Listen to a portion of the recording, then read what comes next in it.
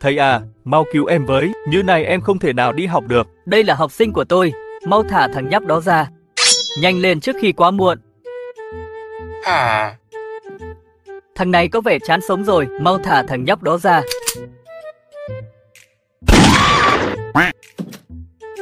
Tao đã cho mày một cơ hội mà mày dám. Đúng là không biết tự lượng sức mình. Được rồi, mau quay trở lại lớp học với thầy. À đúng rồi, mau đưa cái máy tính ra đây. Em sẽ đưa nó cho thầy, máy tính đã làm em lười học đi rất nhiều. Có vẻ như cuối cùng cậu đã giác ngộ. Thôi được rồi. Ha ha, thầy là một thằng đại ngốc, bây giờ chúng ta phải rời khỏi nơi này, nhưng quanh đây không có căn phòng bí mật của tôi, như vậy thì chỉ có thể dùng đến nó, cánh cổng dịch chuyển tức thời, đi thôi nào. Đây vẫn chưa phải căn phòng bí mật của tôi, căn phòng bí mật thực sự nó ở ngoài này, tôi đã giấu kín cái nút trong thác nước, người kém thông minh như thầy giáo, chắc chắn sẽ không thể phát hiện. Bây giờ hãy khởi động các hệ thống an ninh. Đã xong, bây giờ thì có thể yên tâm mà chơi máy tính rồi.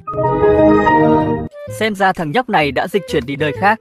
Đây lại là một căn phòng bí mật của nó. Thử vào cửa bên kia xem thế nào. May mà mình còn phản ứng nhanh. Bên này còn có một cái lỗ kỳ lạ. Một nút bấm mở ra cánh cửa khác, có vẻ như là đúng đường này rồi. Liệu có đơn giản như vậy? Mình phải cẩn thận mới được.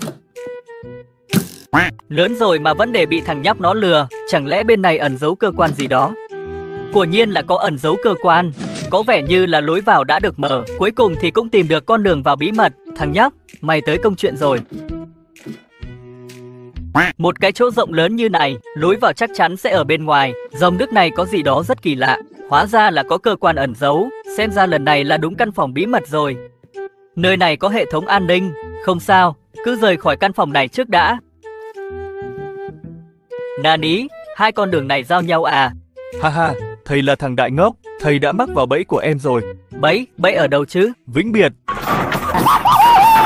Được rồi, bây giờ hãy lấy máy tính và rời khỏi nơi này. Chúng ta sẽ lên trên đỉnh của căn cứ bí mật. Trên này có bẫy nên sẽ an toàn. Thiết lập một cái cơ quan ở đây trước, thầy chui lên thì sẽ bị dính vào bẫy của mình. Bây giờ có thể thoải mái mà chơi máy tính được rồi. Đợi cho thầy giáo tới. Ha ha, nhóc không nghĩ được đến cái bước này sao? Thầy có thể tha thứ cho em được không? Lần sau em sẽ không nghịch nữa. Có cái nịt nhé. Lần này lớp học xây dựng trên một hòn đảo trống, tôi xem các bạn còn trốn như thế nào. Nhà vệ sinh thì làm luôn tại chỗ. Đạt 09. Cơ hội đã đến. Chúng ta mau chóng rời khỏi nơi này. Ở trang trại này có căn phòng bí mật của tôi. Thằng nhóc kia, mau đứng lại. Thầy giáo ăn cái gì mà đuổi theo nhanh vậy chứ? Này, đừng có manh động như vậy chứ, có gì thì từ từ nói. Ha ha, Bây giờ chúng ta hãy trốn vào căn phòng bí mật. Thầy giáo còn lâu mới có thể vào được. Dùng xe mỏ để di chuyển nhanh hơn. Đóng tất cả các lối ra vào lại. Đây sẽ là căn cứ cuối cùng của mình. Muốn vào đây thì phải vượt qua nhiều cái bẫy. Giờ thì đã an toàn rồi, lấy máy tính ra chơi đợi thầy giáo đến. Cái con bò khốn nạn dám bắn cả mình. Đúng là không biết trời cao đất dày. Lần này tôi phải giáo dục lại thằng nhóc đó. Vai o, may mà mình phản ứng kịp thời. Có vẻ như đây chính là lối vào. Surprise! Thằng nhóc này đặt quá nhiều cái bẫy. Bên này còn có công tắc mở cửa. Chắc chắn là lối này. Đây chính là bộ nhận dạng mở khóa bằng khuôn mặt. Căn phòng này có gì đó không ổn. Chạy mau. Toang, toang thật rồi. Vừa rồi không để ý là có một cái lỗ nhỏ ở chỗ này. Công nhận là thầy cũng giỏi thật đấy. Nhóc dám chọc giận một con quỷ địa ngục. Sau khi tôi vào được đó, thì cậu xin vĩnh biệt cụ đi là vừa. Cứ đợi ở đấy. Hình như là lỗi này. Ha ha, thầy đúng là một thằng đại ngốc, lấy máy tính và rời khỏi nơi này. Tự nhiên mình cảm thấy đói bụng quá. Hình như bên kia có đồ ăn. Nhân lúc không có ai ở đây, mình sẽ ăn vụng vài cái bánh. Nadi, cuối tuần thầy làm thêm nghề nhặt rác nữa à? Đầu tuần thì làm giáo viên dạy học, cuối tuần thì làm thêm dọn vệ sinh. Cuối cùng cậu cũng biết tôi làm việc vất vả rồi hả? Được rồi, em sẽ tạo công ăn việc làm thêm cho thầy. Thằng nhóc kia, mau nhặt hết rác lên. Em không vứt rác ra thì thầy lấy đâu rác mà quét dọn. Mày đã chọc tức một con quỷ địa ngục trong trống chê nẻ Nobita. Tất cả mau cút cút ra. Ha ha, thầy đúng là một thằng đại ngốc. Cái nút bấm ở đây mà thầy giáo chạm vào, sẽ phải nhận một cái kết đắng lòng. Bên này là lối vào căn cứ bí mật, xuống không cẩn thận là đăng xuất luôn. Tôi sẽ vào trong căn cứ này trốn trước. Nếu thầy giáo đến, thì tôi sẽ kéo cần gạt này xuống. Đi làm thêm cũng không được yên ổn. Hả? Sao ở đây có nhiều nút bấm vậy? Chắc chắn là có vấn đề. What the hell đây là đâu? Có tiếng gì lạ vậy nhỉ? Bên kia có một anh trai. Thử ra hỏi xem có thấy thằng nhóc đó không? Lại dính bẫy của thằng nhóc nữa. Thầy giáo đã đến rồi. Thằng nhóc, ơ tại sao tôi lại bay lên thế này? Nhanh chóng lấy máy tính và rời khỏi nơi này. Trong cánh cửa đằng kia có một cái bẫy. Cái nút này là mở lối đi vào khu bí mật. Thầy giáo chắc chắn sẽ không biết được. Ở đây là hai cánh cửa băng và lửa. Muốn vào thì cần phải có ngọc dịch chuyển. Đây không phải là tường đá bình thường. Nhấn cái nút này sẽ có lối đi thông qua ở đằng sau. Không nhanh thì sẽ bị ép bẹp dí mà đăng xuất. Bây giờ lấy máy tính ra chơi đợi thầy giáo đến. Thằng nhóc này thật là gian xảo, chỗ nào cũng có thể là bẫy. Nếu không nhầm, thì thằng nhóc đó đã đi lối này. Tại sao lại có ba cần gạt ở đây? Tôi sẽ gạt tất cả xuống. Nà đi, không sao cả. Nhưng bây giờ thì có sao? Xem cái nút này là cái gì? Nó luôn cất giấu lối vào ở một nơi kín đáo, nhưng mà còn lâu mới qua mắt được tôi. Ở đây có hai cánh cửa, mọi người đều biết nước và dung nham không thể dung hợp với nhau, cho nên cánh cửa này có thể đi thẳng vào. Nơi này là nơi nào vậy chứ? Đằng kia có ánh sáng, thằng nhóc đang ở bên này, mày tới công chuyện. Hả? Xin chào. Chắc chắn lối vào nằm ở bên cánh cửa này. Mình đúng là quá thông minh. Tìm thấy mày rồi, thằng nhóc. Ha ha, thầy bị cánh cửa đè bẹp dí luôn rồi. Tôi phải rời khỏi nơi này ngay lập tức. Bên này có hai lối để đi, nhưng thầy giáo chắc chắn sẽ đi con đường này. Đó là lối thoát nước nhà vệ sinh của tôi, còn tôi thì sẽ đi con đường bí mật này. Cuối cùng rồi đóng cánh cửa lại là xong. Chúng ta sẽ di chuyển đến một nơi mà thầy giáo sẽ chui lên từ đó. Và tôi đã đặc biệt đặt cho thầy một cái bẫy, nướng thầy thành một con lợn quay. Giờ thì lấy máy tính ra chơi đợi thầy giáo đến. Nơi này còn có một cái nhà vệ sinh, ở đây còn có một cái cần gạt. Thằng nhóc đã rời khỏi nơi này rồi, nhưng cái dòng nước này trông có vẻ bất ổn, còn có mùi gì đó hơi lạ lạ nữa. Thằng nhóc còn chui qua được thì chắc không sao. Có vẻ như là thầy giáo đã tìm đến rồi. Thằng nhóc, mày chui đường này không thấy thúi sao? Ai nói với thầy là em chui ra từ chỗ đó? Ai lại ngốc đến mức đi chui xuống cống thoát nước của nhà vệ sinh? Thật là kinh tởm. Thằng nhóc kia, tao liều mạng với mày. Trò chơi này thật là thú vị. Ai vậy chứ? Là thầy sao? Em đang học bài trực tuyến. Thôi cậu đừng có mồm điêu nữa, tôi lại còn lạ gì con người cậu. Bây giờ như thế này nhé, tôi với cậu đấu tay đôi trong trò chơi. Nếu thua thì cậu phải quay lại lớp học, nếu thắng thì tôi sẽ gọi cậu là bố. Cái gì? Thầy dám khinh thường em sao? Thằng nhóc này không biết tôi là ai, tôi chính là người giỏi nhất thế giới. Này cái tiếng gì vậy chứ? What the hell? Chơi hack à? Chơi vậy rồi ai chơi lại mày chứ? Nó muốn làm cái gì nữa? What the hell? Ông mai chuối, thế này chơi cái gì nữa? Không chơi nữa, không chơi nữa. Sao vậy thầy giáo? Cậu chơi ăn bẩn, chơi hack với tôi. Như vậy rồi ai chơi lại cậu? Em chỉ là một thằng nhóc lớp 5, còn thầy là một người chơi cựu chiến binh. Vậy mà thầy vẫn thấy sợ em sao? Tôi dạy dỗ cậu làm người tử tế, để bây giờ cậu học thói chơi xấu như vậy sao? Khốn nạn, Thầy vẫn còn quá non và xanh, chơi không lại còn đòi đánh được mình. Bây giờ hãy trốn vào căn phòng bí mật. Bây giờ chúng ta phải kích hoạt công tắc ẩn. Nhanh lên, chúng ta phải thật là nhanh chóng. Bức tường này sẽ sớm thu hẹp lại, nếu chậm chân là sẽ bị đè bẹp dí trong đó. Đặt thêm một cái bẫy giả nữa ở chỗ này, thầy giáo mà đến sẽ nghĩ tôi đang trốn ở trong này. Một trong những cánh cửa này sẽ có bẫy, tôi sẽ chọn cửa số 3 vì nó an toàn. Đây chính là khối ảo giác, bên dưới là hồ lava nóng chảy. Được rồi, lấy máy tính ra chờ đợi thầy giáo đến. thằng nhóc này thật là đáng ghét. Chắc chắn nó đã chạy theo lối cửa sau. Tại sao lại có con lợn buộc ở đây? Toang thật rồi. Thằng nhóc đã chọc giận một con ác quỷ. Cái tội biết mà không nhắc cho tôi. Đây chắc chắn là lối vào căn phòng bí mật. Thằng nhóc này thông minh qua mức quy định. Bên kia có một cái cần gạt, chắc là lối vào căn phòng bí mật. What the hell sao bức tường chuyển động? Thôi toang rồi, đây chính là một cái bẫy. Ở đây có một cái cánh cửa. Ha ha, kia là máy tính của thằng nhóc đó. Để lộ đuôi rồi nhóc con. Không sao, chúng ta chỉ cần đào tường sang và bắt thằng nhóc. Ở đây có ba cánh cửa, vào cái ở giữa xem thế nào. Ôi sợ vãi, cứ tưởng là mình lại mắc bẫy. Thầy giáo chắc là sắp đến nơi rồi. Thằng nhóc, tôi tìm thấy cậu rồi. Qua đây, em sẽ đứng yên cho thầy bắt. Màu sắc của viên đá này có gì đó không đúng, chắc chắn nó là một cái bẫy. Khốn nạn, đã bị thầy phát hiện rồi. Thằng nhóc con thật là gian xảo, ta không có loại học trò như vậy. Bây giờ phải nhanh chóng chèo thuyền qua trước. Đi men theo cái lối này. Sau đó là phá hủy con đường sang bên này, như vậy thầy sẽ không qua được. Thầy à, em đang chơi máy tính bên này, thầy có thể làm gì được em chứ? Con trai đừng quá kiêu ngạo, rồi ta sẽ khiến nhóc phải hối hận suốt đời. Thằng nhóc kia, mau đứng lại. Có chuyện gì vậy chứ? Vai o có án mạng rồi. Bọn dân làng các người nghe cho rõ, ta sẽ giao cho các người một nhiệm vụ.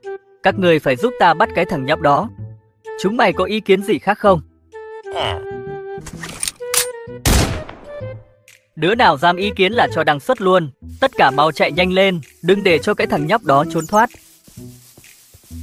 Sẽ không có cái bẫy nào ở dưới này đâu. Các người cứ yên tâm, hãy cùng tôi vào hang động bắt thằng nhóc.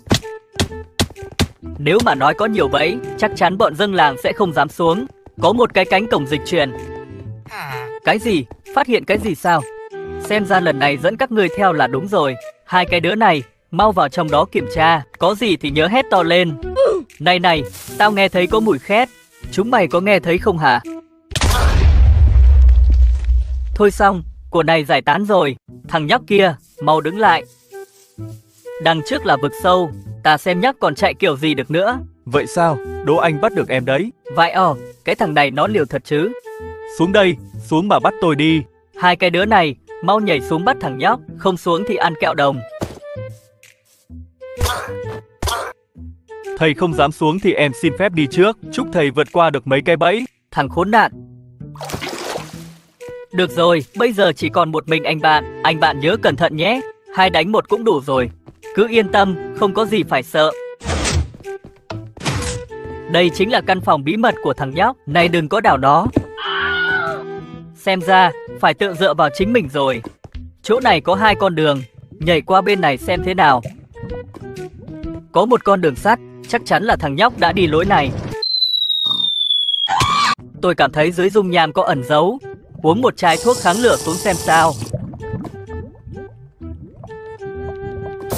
Bên dưới có nước, lối đi này an toàn.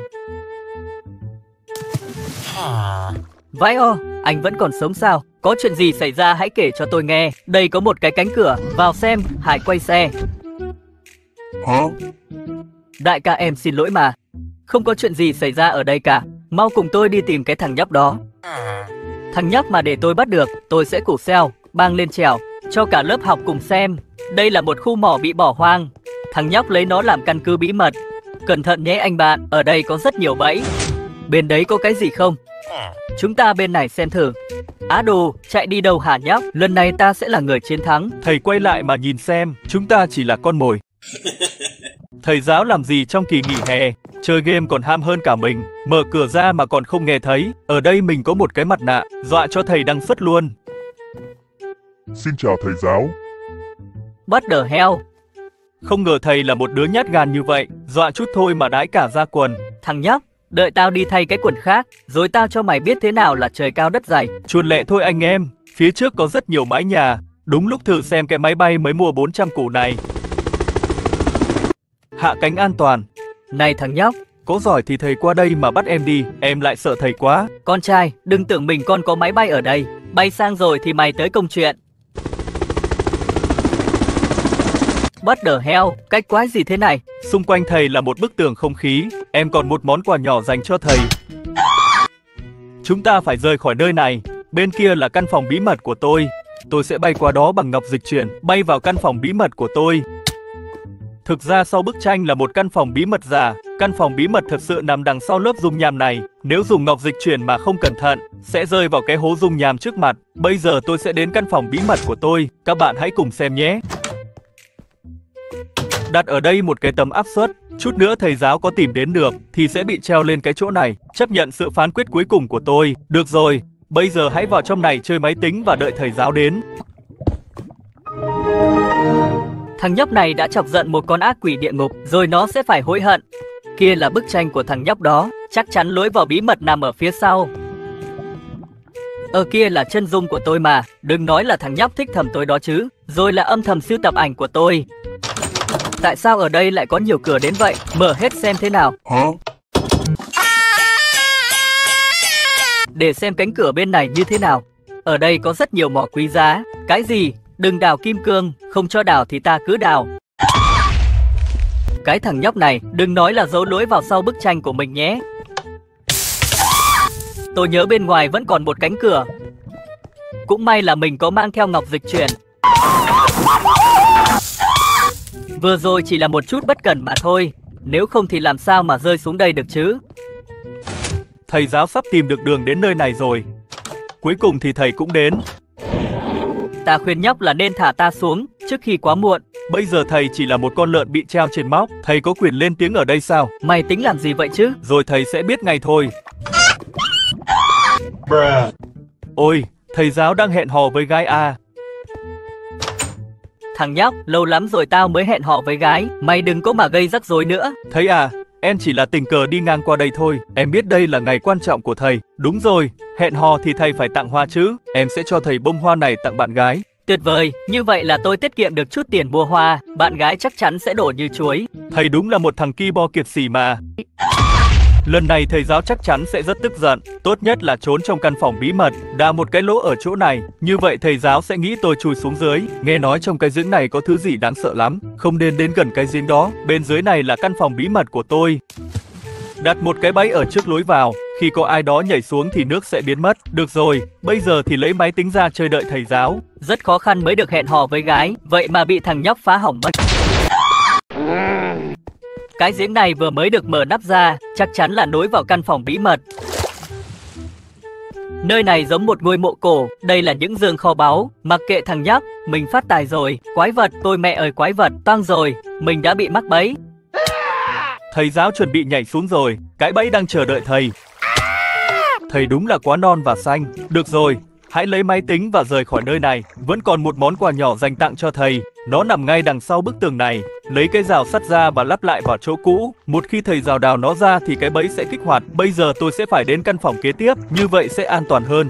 Đóng cái lối vào này lại. Cánh cửa này phải chui qua thật nhanh chóng. Đặt thêm một tấm áp suất ở chỗ này, thầy giáo bước vào thì sẽ phải dẫm lên đó. Và thế là thầy giáo bị mắc kẹt, lấy sẵn khẩu 6 nòng ra đây trước. Cái bẫy có vấn đề thì cho thầy đăng xuất luôn. An toàn rồi, lấy máy tính ra chờ đợi thầy giáo đến. Ở đây có một cái nút, vào xem nó là cái gì, là một hộp quà nhỏ, để xem thằng nhóc chuẩn bị quà gì cho tôi. Muốn thử thách kỹ năng của tôi sao? Đó không phải do kỹ năng của tôi kém, may quá là mình còn mang theo một cây cuốc. Đây chắc chắn là lối vào bí mật. May mà mình phản ứng kịp. Ha ha, bạn gái của thầy bây giờ thế nào rồi? Thầy không đi hẹn hò nữa sao? Cái thằng nhóc khốn nạn, mày đừng có mà tỏ ra kiêu ngạo nữa. Sợ quá, chạy thôi. Nhóc còn đừng có chạy nữa, cố gắng cũng vô cùng tốn sức mà thôi. Sự kiêu ngạo của nhóc biến đâu rồi? Sao bây giờ không gáy nữa đi? Gáy nữa đi. Thầy đúng là một thằng ngốc. Thằng nhóc đen ham chơi lời học, kia là nhà của thằng nhóc, phải đến kiểm tra nó học hành thế nào. Thầy à, em đang làm bài tập rất chăm chỉ, thầy đến nhà kiểm tra em sao? Lười học còn hay nói phét. Đã thế thì không cần học nữa. Suốt ngày học bài đau hết cả đầu. Đốt luôn đi đỡ phải đi học. Bây giờ thì tôi phải trốn đi trước cái đã. Căn phòng bí mật ở dưới cái mộ thằng bạn. Đến nơi rồi. Muốn vào được đây thì phải vượt qua ba thử thách, tương ứng với cấp độ của từng căn phòng. Thầy giáo sẽ được tham gia thử thách đặc biệt. Tôi sẽ bước đến căn phòng giám sát. Nơi này có thể theo dõi các hoạt động. Ở đây có thể nhìn thấy tất cả trong phòng bí mật, tất cả mọi hoạt động của thầy giáo. Bây giờ chỉ cần đợi cho thầy giáo đến. Thầy à, thầy phải trải qua ba căn phòng bí mật để tìm được cánh cửa ra khỏi nơi này. Nani? Vượt qua thử thách để trốn thoát, cấp độ mà nhóc tạo ra chắc quá đơn giản. Vượt qua trong 2 phút. Mình sẽ phải cẩn thận hơn mới được. Cái tiếng gì vậy chứ? Cấp độ 2 đơn giản như vậy sao? Đi tiếp xem thế nào. Vẫn còn một con quái vật chúa, nhưng bị dọa sợ chạy mất tiêu rồi. Love is the best place to find a lover, so bar is where I go. Châu đến đâu đánh lâu cũng hẹo, đây chắc hẳn là chìa khóa căn phòng tiếp theo. Đây là cấp độ cuối cùng rồi, ở đây chỉ có một cái dương thôi sao? Kim cương, lấy luôn. Tôi đang ở đâu thế này, tôi vẫn còn sống sao? Cái gì, lại dính bẫy của thằng nhóc? Thầy đã không vượt qua được thử thách. Bây giờ là hình phạt dành cho thầy. Tha cho thầy đi mà. Quá muộn rồi. Không có gì bất ngờ cả, hôm nay tôi lại đi học muộn. Thằng nhóc, mày lại đi học muộn nữa hả? Thầy cảm thấy bất ngờ lắm sao? Ngày nào mà em chả đi học muộn như vậy? Đừng có nói nhảm nữa, mau lấy bài tập ra tôi kiểm tra. Bài tập là cái gì? Em không có bài tập, em chỉ có cái máy tính này thôi. Mày muốn chọc tao ngày nào cũng được, nhưng ngày hôm nay thì mày xác định. Thầy à, thầy làm cái gì em vậy hả? Em khuyên thầy là nên thả em xuống trước khi quá muộn. Hôm nay mọi thứ sẽ khác, hãy cứ chờ xem. Hôm nay tôi sẽ là anh thợ săn, cậu sẽ trở thành con mồi bé bỏng. Cần gạt này chính là một cái bẫy, lối vào căn phòng bí mật nằm phía sau bức tranh. Thằng nhóc sẽ khó mà phát hiện được, còn đây chỉ là dung nham giả. Đằng sau cánh cửa này là một cái bẫy, muốn mở được lối vào thì phải ngước lên mới nhìn thấy cái nút bấm. Thằng nhóc kia toàn cắm đầu xuống đất. Để đề phòng thì tôi đặt thêm một cái bẫy nữa, sau đó là bịt kín lối vào là được. Như vậy là đã an toàn. Bây giờ thì lấy máy tính của nó ra xem xiếc. Vãi ồ thầy giáo lấy mất máy tính của mình rồi. Mình phải lấy lại máy tính. Bên này có một cái cần gạt, chắc là lối vào căn phòng bí mật, nhưng tại sao không phản ứng gì cả? Thầy giáo là một con cáo giả gian xảo, lần sau mình sẽ phải cẩn thận hơn. Bức ảnh xấu xí của thầy giáo chắc chắn là lối vào bí mật. Đập vào mắt là một lớp dung nham trước mặt, cũng may là mình có mang theo ngọc dịch chuyển. Lần này mình sẽ cẩn thận hơn nữa. Sao đâu ra nhiều cửa thế? Đằng sau cánh cửa này chắc chắn là một cái bẫy. Còn muốn dùng cách này để lừa tôi sao? Biết ngay mà. Ở đây có một tấm áp suất. Thì ra là để mở cái cánh cửa này. Phải có một cơ quan nào đó ở đây. Hóa ra là đặt trên trần nhà. Tới công chuyện với tôi. Nhóc vẫn còn quá non và xanh, bây giờ phải lấy máy tính và rời khỏi đây. Đằng sau cánh cửa là một số món quà nhỏ cho thằng nhóc. Muốn lên trên này thì cần phải có ngọc dịch chuyển. Thằng nhóc mà dám bước lên, tôi sẽ cho nó biết thế nào là biển lửa. Vậy là đã an toàn rồi, chúng ta hãy lấy máy tính ra chơi đợi thằng nhóc. Lần này mình sẽ không bốc đồng như vậy nữa. Nhìn xem, ở đây có một cái cánh cửa. Thầy giáo còn ra một bài tập dành cho tôi, để tôi xem nó là cái gì. Hóa ra là công thức làm một cái bánh. Cái này quá là đơn giản mà. Bánh thì tôi là người giỏi nhất. Bước tiếp theo là cho bánh vào cái lò, như thế là xong. Lối vào chắc chắn nằm ở chỗ này, chắc chắn luôn. Chỉ còn một viên ngọc duy nhất, mình sẽ làm lại một lần nữa. Thằng nhóc này chắc là sắp lên được rồi, vì nó rất là thông minh. Thầy à, thầy mau trả em cái máy tính, không thì thầy tới công chuyện. Nhóc à, nhóc thử nhìn sang bên trái mình xem đã. Hả? Thầy à, em xin lỗi, em cho thầy cái máy tính cũng được, nhưng thầy tha cho em lần này được không? Được rồi để tôi suy nghĩ. Bất kỳ thứ gì trong game này, chỉ cần đổi tên, nó sẽ bị cắm đầu xuống đất và có thể di chuyển bằng mái tóc, ngay cả khi chả có cọng tóc nào. Đây là cái chuồng của bạn gái tôi. Tôi đột nhiên có một ý tưởng táo bạo, tôi đã tháo rỡ cái chuồng và làm ngược lại. Sẽ không thứ gì lý giải được. Bây giờ thì cho nó cắm đầu xuống đất, trông như là đang đứng trên trần nhà. Bạn gái tôi mà nhìn thấy, chắc là sẽ văng não ra ngoài mất. Này, có chuyện lớn rồi. Á, Cái chuồng của em bị lật ngược lại. á. Chắc chắn là anh đã làm, anh là đồ xấu. Không phải, em vào trong mà xem. Không ổn, cô ấy đã phát hiện cái gì đó. Đây là lỗi game lớn nhất mà tôi từng thấy.